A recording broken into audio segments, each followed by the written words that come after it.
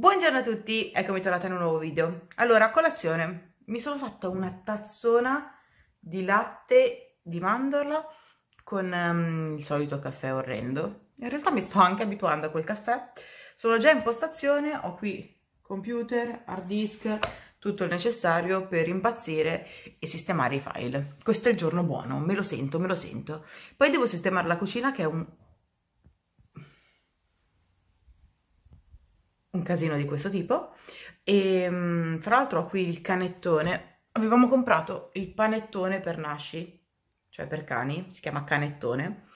E poi ho avuto l'incidente ovviamente dopo Natale, Natale non gliel'abbiamo dato perché avevo paura che venisse tipo la dissenteria. Poi mh, mm, cosa è successo? Ho avuto l'incidente quindi non, non, abbiamo potuto darglielo. Fra l'altro piangevo pensando al canettone oddio, no, la guardavo il canettone e dicevo non lo mangerà mai perché morirà Vabbè, ora lo può mangiare, però gliel'abbiamo dato e gli fa schifo. Cioè, proprio le, lo odia. non ha neanche leccato. Cioè, l'ha proprio snobbato, quindi nulla. Il canettone verrà buttato. Meglio così. Anche perché hai brutti ricordi legati a quel canettone lì. Allora, mi metto al lavoro e ci vediamo bah, a metà mattinata. E allora io ho stampato l'autocertificazione sperando che sia quella nuova, perché so che è cambiata. Ora la compilo e poi mi sono stampata l'assicurazione della macchina perché eh, è nuova appunto e non l'ho mai utilizzata quindi non ce l'avevo dietro. Ora preparo qualcosa da mangiare e ah, ho montato il video. Cioè l'ho montato di qua l'ho esportato lo sto controllando di là perché devo montare di qua però da qua non mi girano i video perché è troppo pieno quindi lo sto verificando di qua. E quindi vabbè sì, comunque ho fatto un sacco di roba. Stamattina sono molto contenta e molto produttiva Pronti per mangiare? Poi andiamo dalla nonna.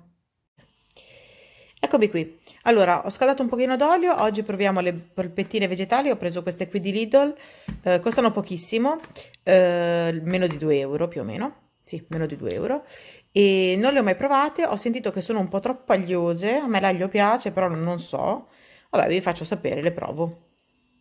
Presa dalla foga di, di mangiare perché sono in ritardo che devo andare dalla nonna, le ho messe tutte, ma mi sono già pentita, sono sicuramente troppe. Vabbè, sentite sgranocchiare Nasci che mangia. Pranzo, allora, eh, molti rimangono sconvolti del fatto che io mangi i peperoni crudi, ora li mescolo un pochettino, ma a me piacciono moltissimo, tipo in insalata con un po' di aceto, di quello di mele, questo è meglio grano in realtà, e mm, con l'olio e il sale, cioè io li digerisco perfettamente, ma io digerisco tutto, quindi insomma non mi non stupisce niente.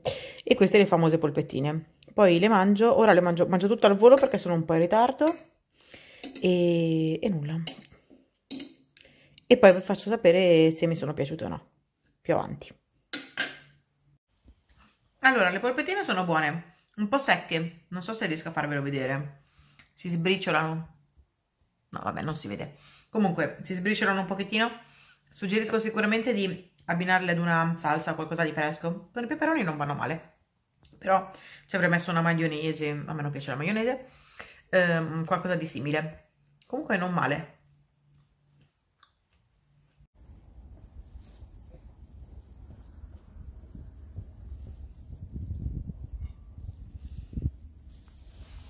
Arrivata a casa della nonna c'è un silenzio inquietante.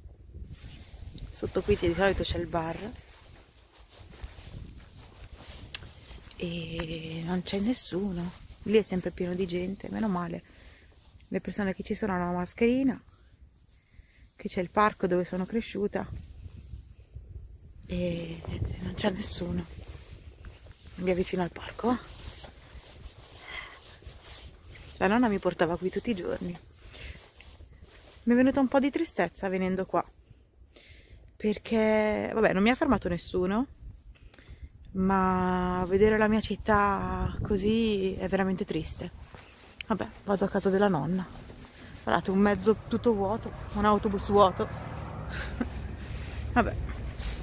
E nulla quindi non mi ha fermato nessuno che è una buona cosa anche perché avevo l'ansia lo sapete da ieri e um, non ho visto nessuno, c'è poca gente in giro, davvero poca gente. Anche questa è una buonissima cosa. Sono riuscita ad utilizzare la macchina che sapete essere nuova, quindi uh, è la prima volta. L'ho comprata un mese fa, due mesi fa. Ho potuto avrei potuto utilizzarla perché ho fatto l'assicurazione, aspettavo che me l'attivassero, diciamo, eh, da quattro settimane, ma poi non sono più uscita e quindi nulla. E ora vado dalla nonna, speriamo di trovarla bene, speriamo che abbia dormito, perché se ha dormito posso tornare a casa a dormire. Se invece non ha dormito mi fermo, mi fermo qui da lei. Questa colonna è quella su cui ho picchiato correndo eh, da, da bambina, per la quale mi sono fatta questa cicatrice. Mi hanno messo dei punti in fronte. Stavo correndo inseguita da un bambino, mio amico, e sono finita contro una colonna. La nonna mi ha portato in braccio su, me lo ricordo benissimo. Eccoci qua.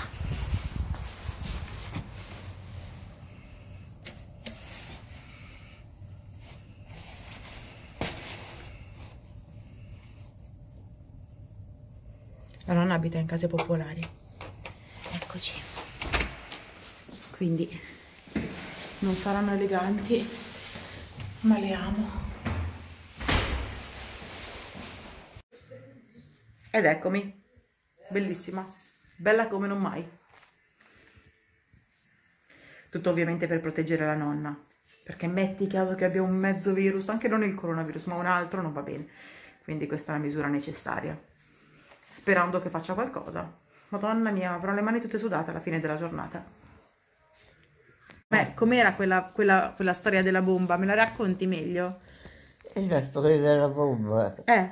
Eravamo tutti in rifugio. A casa vostra, a Milano? A Milano. Ok. Era il rifugio. Sì. Eravamo in rifugio e è venuta giù la bomba. Sulla casa? Però non ha preso il rifugio. Non ha preso il rifugio ma ha preso la casa? Ha preso la casa. Ok. E allora, sai, lui, quando si è sentita la bomba, Sì? uno scemo Sì? e un fantino Sì? ha detto io ce l'ho in casa, lo devo andare a prendere. E che cosa È andato a prenderlo e le, le è scoppiata la bomba con la scheggia. Ok. L'ha preso lui e è morto. Oddio, ma davanti a te?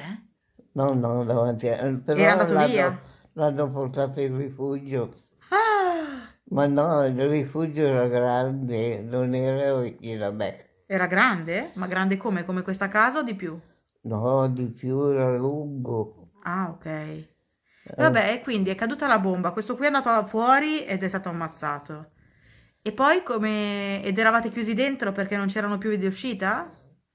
No, no, C'erano vie d'uscita. eh, uscivo, c'era. Ah, ok, perché io mi ricordavo che tu avevi detto che era, che era arrivata una bomba, era caduta una bomba sulle- sulla palazzo ed eravate rimasti bloccati. E poi ne è caduta un'altra e siete- vi siete liberati. Sì, ma la casa l'abbiamo dovuta cambiare. Ma la casa l'avete dovuta cambiare. e vabbè, capita, nonna, quantomeno sei viva. Eh, La guerra è durata 5 anni. Questo non può, non può durare 5 anni anche questo. eh no, Speriamo. no. Tu sei positiva? Eh, Sei positiva? Tu sei ottimista? Anche io. Speriamo che finisca presto. eh. Vabbè, nel frattempo ci facciamo compagnia fra di noi. Che a me non mi fa neanche niente male. oh mamma. Ma la mamma ha detto che ci richiama, ma non ci sta richiamando. Eh, Aveva il telefono scarico. Aveva il telefono scarico. Ricaricherà e ci chiamerà. Allora, io e la nonna stavamo ragionando sul fatto che se la gente sta a casa, nessuno si ammala. Eh, Quindi, per me io, e eh. per lei, pensate a tutte le persone anziane come lei, se si ammalano siamo fregati. guarda che anziana sono. Che anziana sono, sei bella, Guarda, sei bella, ma bella forte anche. Eh, sono anziana. tutta sua nipote. Eh, Quindi che cosa diciamo, nonna? State a casa. State a casa. Ciao. Ci guardiamo il segreto. Ma quando è successo tutto questo, Marina? Consuelo non riesce a ricordarlo con esattezza, ma facendo un po' di mente locale, credo sia accaduto due o tre giorni prima che Esther scomparisse. pensato ad una cosa. Aiuto. Ecco. Dicevo, ho pensato ad una cosa. Mi avete chiesto mille volte l'home tour di casa mia E ancora non è pronta a casa mia, quindi per ora non ve lo sto facendo. Ma sai che cosa vi faccio fare? L'home tour di casa di mia nonna, dice il mio cappotto. Allora, anche perché questa è un po' casa mia. Voglio bene a questa casa, voglio che rimanga in questo video, così lo potrò vedere sempre. Classico lampadario di casa di nonna. Tutte le, le due le mie nonne avevano un lampadario così, più o meno, con le finte candele. Siamo al primo piano. La poltrona della nonna, quella che si alto, al, alza da sola, anche se la nonna ora è costretta a letto, purtroppo. Il balcone. Il soggiorno. Ve l'ho detto, è una casa umile, popolare, però qui c'è mio zio, c'era, questo era mio nonno, ve l'ho già fatto vedere prima, questa è mia nonna, qualche anno fa, i miei nonni, uh, non riesco, poi vediamo se ci siamo noi, ah, guardate una piccola Pio, la, la comunione, mia, mia sorella, mia cugina mia cugina, qui ci siamo soltanto noi, io, le donne della nostra famiglia, qui c'è la laurea di mia sorella, ah, la mia laurea non c'è, meglio perché facevo cagare, le mie cugine, madonna com'è carina, come sono carine, qui gran parte della famiglia, insomma, questa... Ah, i miei genitori, il matrimonio dei miei genitori. Non riesco. Eccole qua.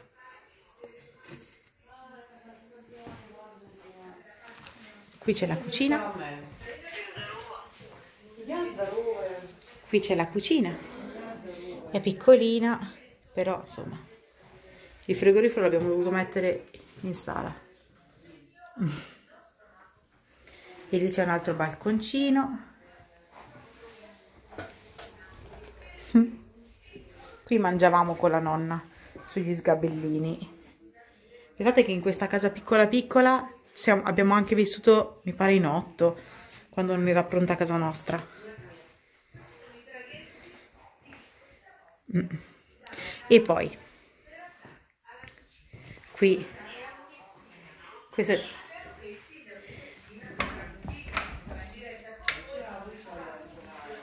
qui c'è il bagno.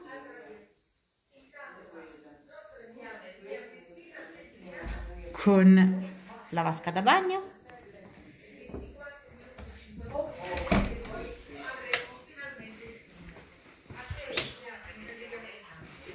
Specchio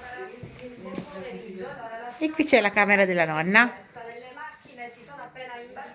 il traghetto sta per partire, dopodiché tornerà nuovamente qui dove ci troviamo. La mia stanzina di quando ero piccola.